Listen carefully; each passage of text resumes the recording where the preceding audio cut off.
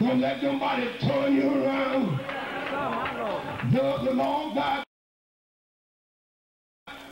With all your heart, soul, mind, and strength. And love your neighbor as yourself. And those who talk about you and persecute you, ask God to give you to give you a heart and your love for them.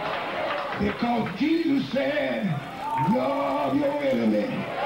Didn't say so? Yeah!